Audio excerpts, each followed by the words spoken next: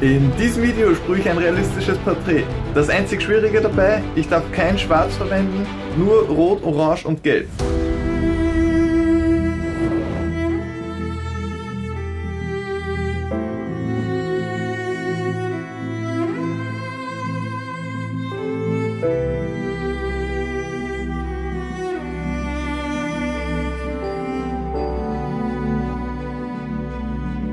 Aber wie kam es eigentlich dazu? Ich wurde eingeladen, um in die Schweiz zu fahren, nach Bern. Dort war nämlich das Graffiti Fire Jam. Ich habe einen richtig coolen Spot gefunden. Es war echt eine sehr coole Erfahrung und tolle Veranstaltung. Aber wie das Werk geworden ist, seht ihr jetzt.